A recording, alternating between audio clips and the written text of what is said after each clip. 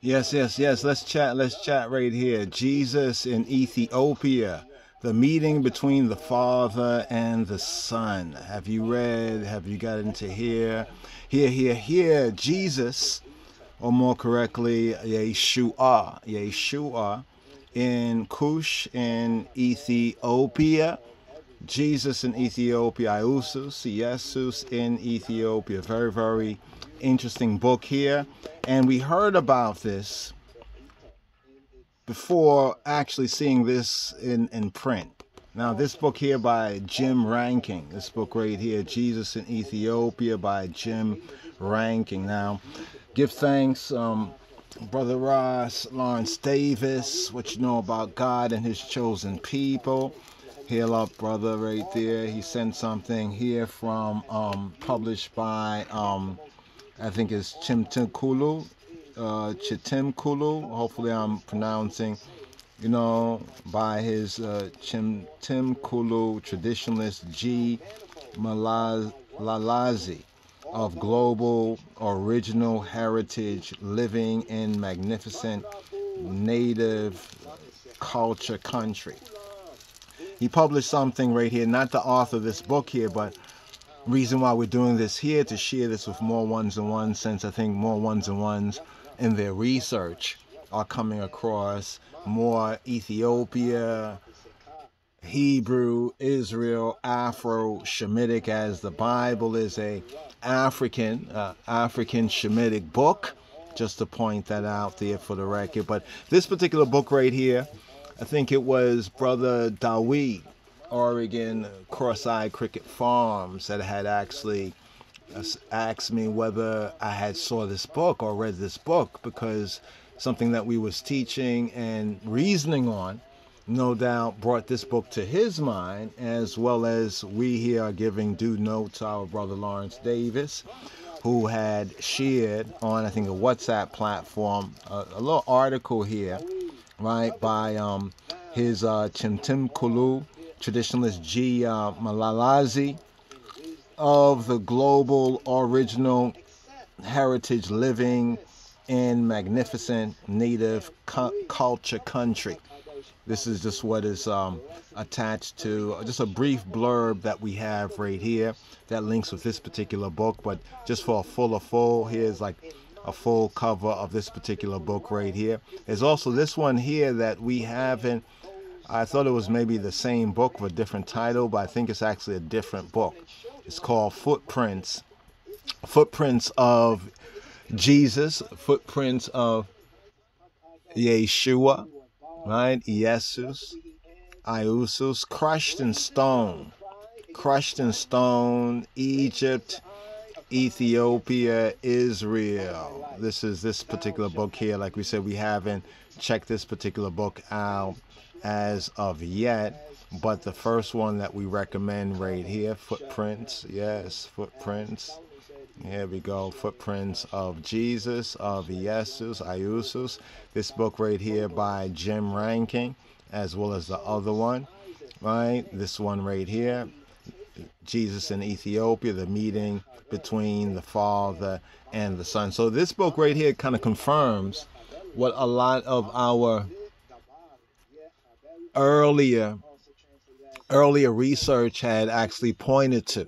This particular book confirmed a lot of it and what we had heard from actual um, Ethiopians themselves.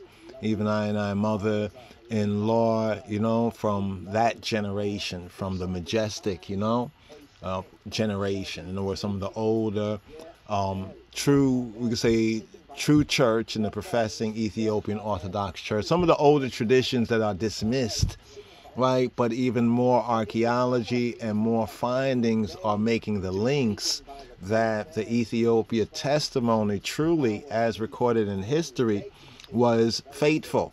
Right? It's among the Western Gentile, the WASP, white Anglo Saxon Protestant Christians, by and large, you know, that have dismissed, you know, dismissed much of the Ethiopian you say Royal Order of the Ethiopian Hebrews and the Ethiopia ancient biblical text, trying to put it into like legend or even to um, um, assume or make people believe that it might just be fairy tale things made up, but actually, right, there's more to it. As it says, in the latter days, some things were sealed up, and in these latter days and latter times, a lot of things that have been sealed up are being more and more revealed revealed up. So, I'd like to get into a little more details of this, but wanted to actually just share a kind of update, you know, on this right here, Jesus in Ethiopia. There's also this one here that we're seeking to get. This is actually the Amharic, right? I think Amharic translation of um, Jesus Christos. Well, here says Jesus Christos. To say Jesus Christ or Yeshua HaMoshiach, Be Ethiopia, Be Tobia, Be Kush, right here. Um, what does Ethiopia represent in the Bible? Right? Well, it all depends on a matter of perspective. From Western Gentile, it presents something kind of a little bit mysterious and legendary and, you know, almost like, well, that's what they say. But there's a lot of evidence that actually proves that this is the other half, the half of the story right? So Jesus in Ethiopia, the other half of the story that hasn't been told. And here, here, here, like to share a couple of um, first words right here.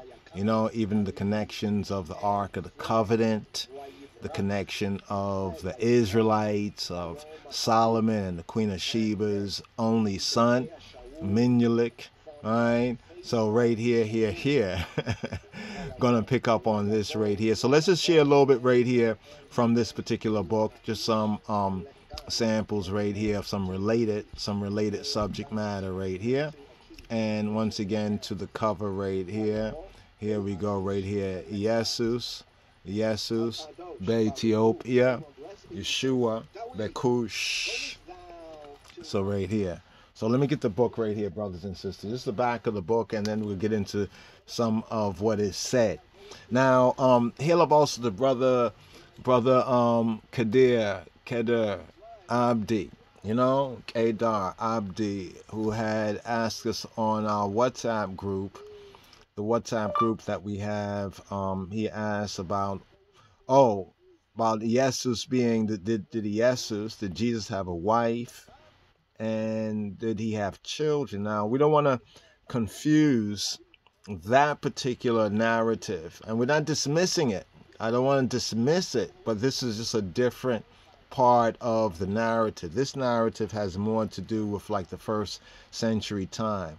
So, to our brother Keder Abdi and also others who've seen that, you know, reasoning, you know, concerning whether Jesus, Yeshua had a wife, did he also have children?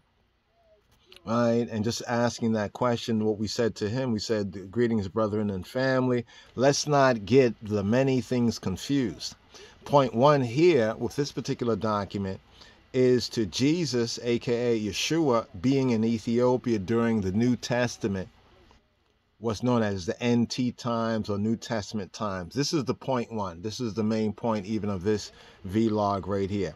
Now, the other idea concerning whether Jesus or Jesus, Iusu, Yeshua, whether he had a wife or whether he had a child or children, this other idea, we say allegation, not to dismiss it, or even truth concerning whether Yeshua had a wife or children, this comes from like other other sources. This comes from other sources, other resources out there, such as uh, I think part of it is like Da Vinci, the Da Vinci Code, and then also there's you know speaking of the Merovingian, so forth and so on, and the we can say a French connection, which definitely links with, in our estimation, many of us who also have that kind of French connection, so to speak, black people who move through those particular cultures. We know that even the Notre Dame, one of their main churches, it was called the Great Lady because of the Black Madonna and Child. So there's a lot of history there as well. But first things first is to look at this New Testament testimony, right, of Yeshua, of Jesus being in Ethiopia. Let's first just establish this right here. So this is from the Ethiopian source, right, of the closeness and relationship between those who may be referred to as the black Jews, right, as as as um, Beta Israel, as Ethiopia, and the one who is called, right, in the translations, Jesus Christ, Yeshua, Ha Moshiach. So that's the first thing right there. Now, the um other sources, like we said, mentioned about the other sources, he was asked about that as well. The other sources, such as like the Da Vinci Code, right, and all that, you know, they they make other speculations. And when we say speculations, like we said, it's not to dismiss it, but just to put it until we start to really look into it and present certain facts, or ones may even present certain facts, and we can look into those particular facts. But this is the fact that we're presenting right here concerning this document here Jesus in Ethiopia, the meeting between the Father and the Son right? And does the New Testament and even the Old Testament scriptures give us any indication that there might be some nearness, approximation, closeness, link, connection between, we could say, the Ethiopia of the Bible, right? The Cush and the Ethiopia of the Bible, and the Hebrews and the Israelites of the very same Bible. Do we have any evidence there?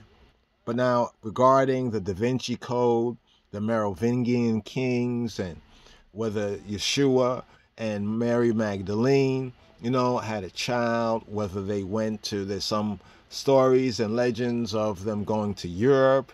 You know, we do know of New Testament Israelites and Hebrews, right, going to parts and regions of the Mediterranean area also going to parts of Arabia, going to parts of India, going to parts of Africa. We do have credible evidence of that as well from just the New Testament times. Right? So therefore there's more to be reasoned on the whether Jesus had a wife and whether he had children. We need to go to those original like resources. What are the source or the resource on that? You know? Um, so the source on this right here about Jesus in Ethiopia, right, which follows up on the Oriental churches such as Ethiopia, the Coptic Church of Egypt, the Syrian, Armenian, and the Indian Church of India. They're the five sister churches. Does give us testimony concerning Yeshua as a babe and his mother going into Egypt, what is referred to as Egypt, but also into Ethiopia. We've found that within, you know, we say archaic Ethiopian, we say church and, and religious writings. You know, this is something that is testified to that when Yeshua went to Egypt, as we have during the time of Herod's um, slaughter of the innocents, right? The children that he wanted to kill the Messiah, you know, even from a babe, right?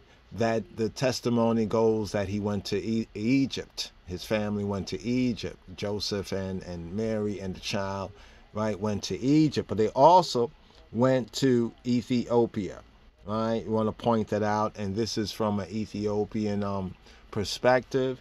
And it's also testified elsewhere within certain of the early early church, when we say church writings, let's put it like this writings by the Nazarenes, the ones who were first called Christians, the early Christians, the apostles, and others that was in that general group, right? Then we have later on, nearly hundreds of years later, where some other traditions and ideas become prominent later on. So we have the early church period, you know, when we say the early church period, that's Yeshua, his disciples, and the apostles, and all that that we have recorded in the New Testament. And then we have 400 years later, where what they call Christianity becomes, in many places, the state or the official religion, even from that grassroots. So we have grassroots, the grassroots Yeshua movement initially, that grassroots movement, and then later on, where different ones saw the power of this, and we get more of, you could say, the church as a kind of a organized, more as an organized, like, you know, state religion in certain places, namely in parts of the Middle East, but going to Eastern Europe, you know, Byzantium, and then flipping back into Rome, Italy, but also in parts of Arabia. We have the Nazarene movement, and also in parts of, of East Africa, particularly, and Ethiopia specifically. Right? So, this is the aspect of the history that we're seeking to zoom in on right? Not being dismissive of the other questions of whether Yeshua, Jesus had a wife and whether he had children, so forth and so on, because it can be, we can address this both from a biblical perspective, right, without being like Christian pharisaical. Because a lot of the Christians today, a lot of the church folks and the Christians today, they are likened to the Pharisees in this time of revelation, right? We have the revelation time of Old Testament Moshe right? The revelation in the New Testament, you know, concerning Yeshua, uh, HaMoshiach of Nazareth, right? And then we also have in these latter days and time that new name, that precious name, Rastafari, Royal Order of the Ethiopian Hebrews, after the order of Melchizedek. This is what we're speaking to right here. So it's this book as a historical point of reference of the other half of the story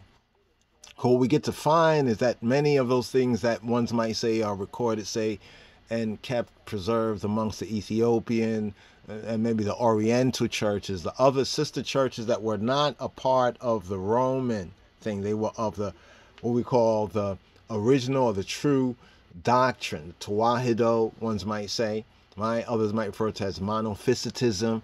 I don't know how many of you all are aware of that whole controversy and that whole reasonment there. Right? So most will look at Christianity that anybody who believe in Jesus, whether they're Roman Catholic or or or Oriental, you know, Orthodox is all the same thing. It's not all the same thing. Just like all of the Jews, even within the Bible, were not all the same thing. Even though commonly one will say the Jews, they'll be like Jesus over here and the Jews over there. But a careful reading of the Bible basically shows us that Yeshua, right, according to the translation, was a Jew, right, was a Yehudi. He said to the Samaritan woman, Ye worship that which ye know not. We know what we worship, for salvation is of the Jews. So, right here, let's touch on this right here, just a little bit on the backstory of this particular book right here.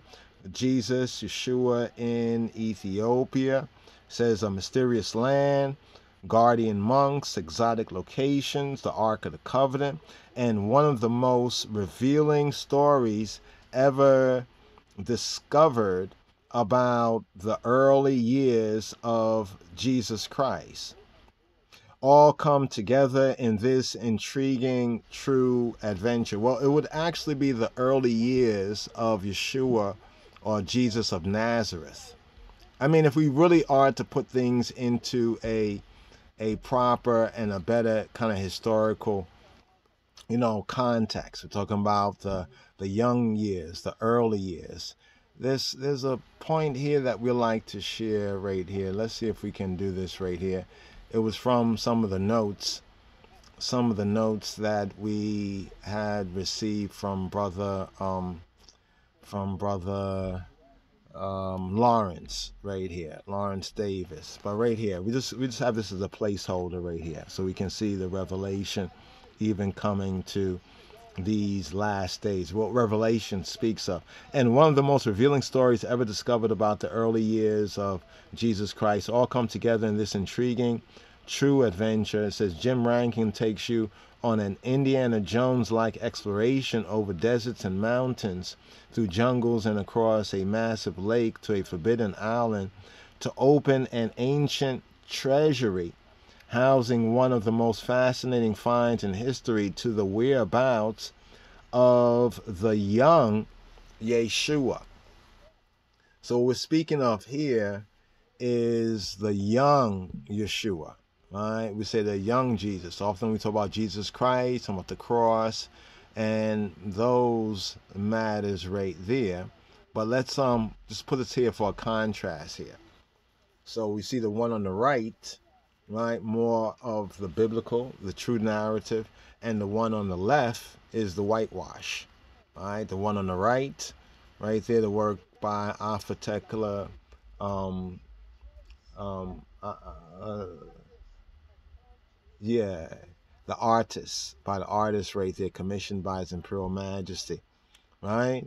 Um, and this is the one that matches the ancient testimony, you know, concerning what the what the Virgin Saint Mary, Kadista Mariam, what she looked like, as well as Yeshua. And then we have what ones are more familiar with, especially in this latter day times of the Gentiles, what ones are more familiar with, namely the Caesar Borgias, the Cratia Borgias, that's actually the Cratia Borgias, the whitewash on the left, on the left side.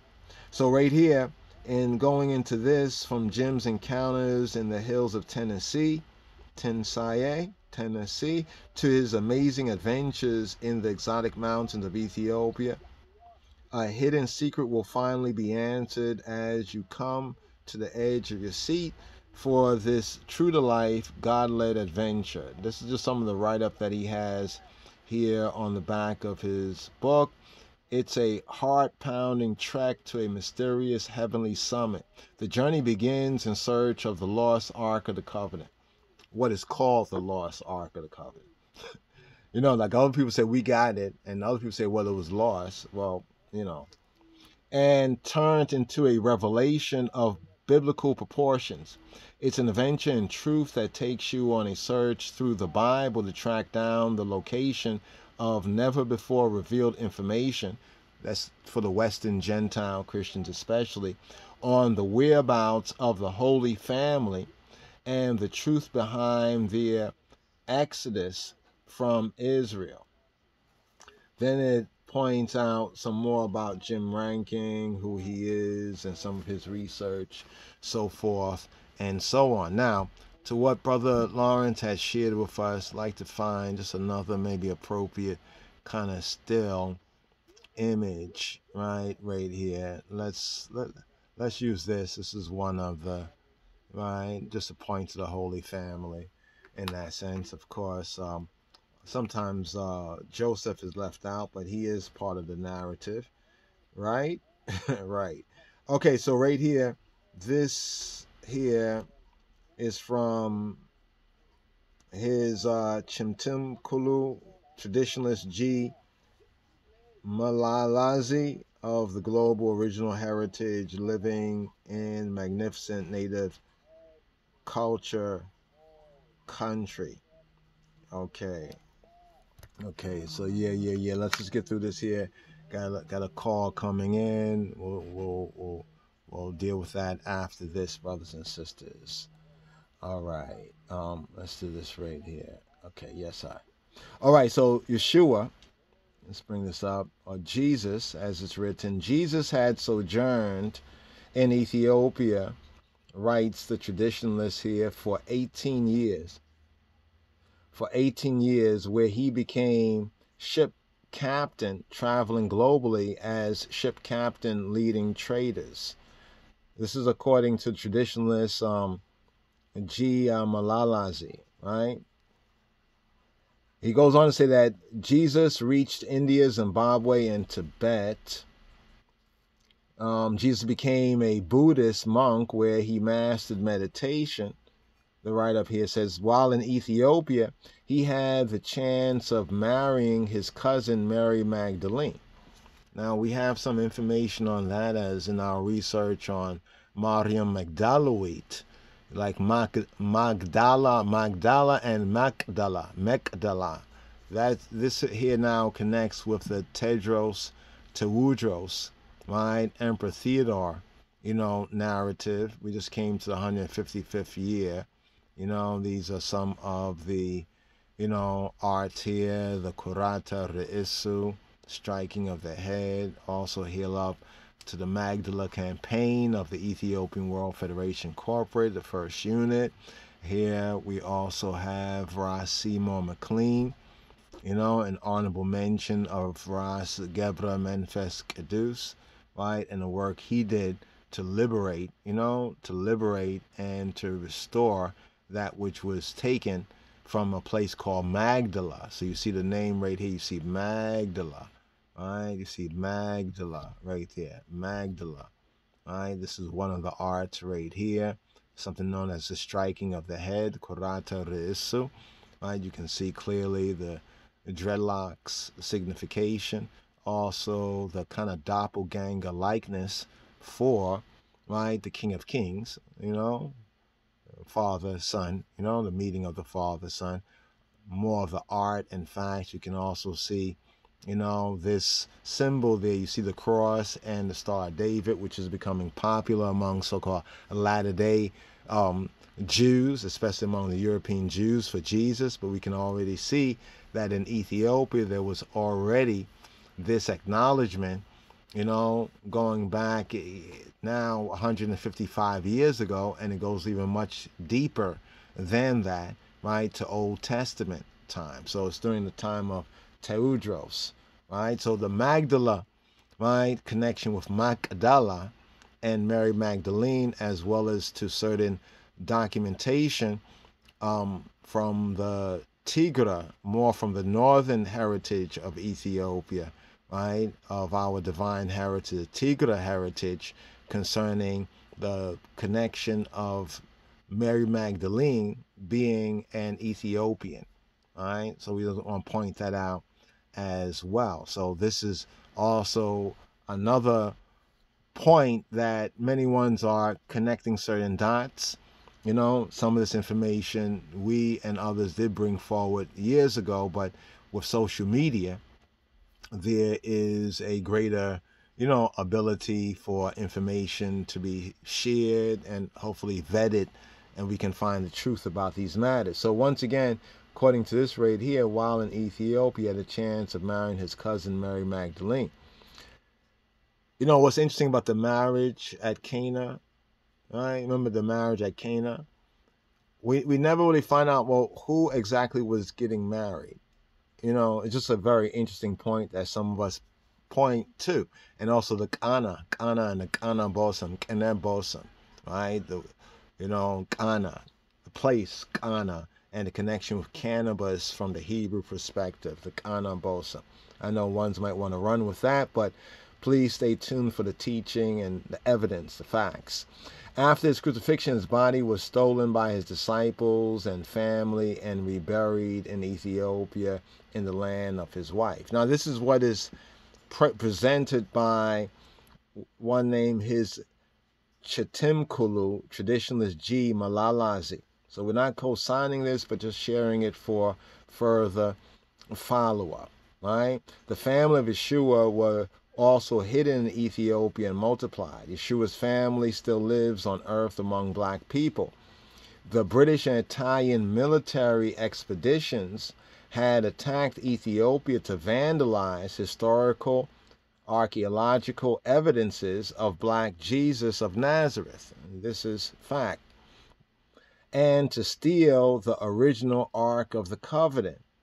Zimbabwe um, mansions, or mansions, mansions, it says here, were also attacked um, where a copy of the Ark of the Covenant was found among the Lemba people. So even the Lemba people, who are said to even have genealogical DNA relations to what many of the DNA scientists and those who are in the science say connects them to, you know, the Israelites and in particular to, I think, the family of Levi, of Le- Levi. So, um, this is very interesting article. I would say based on what we read, about 75 to maybe 85% we can directly substantiate, right, with um, probably several pieces of evidence. You know, there are some other aspects of it where we put a strong question mark, especially the part about the disciples stealing his body, right, and reburying him in Ethiopia in the land of his wife. That particular aspect we put strong quotes right there, but there is a connection of Mary Magdalene right, to Magdala, Magdala, Magdalene. Actually, it's Magdala, Magdala. It's like a K, a Q, a, a, a special K, uh, a kind of Q, Magdala, Magdala. But often you see it in the different translations as Magdala because both of those can apply, both of those soundings of it.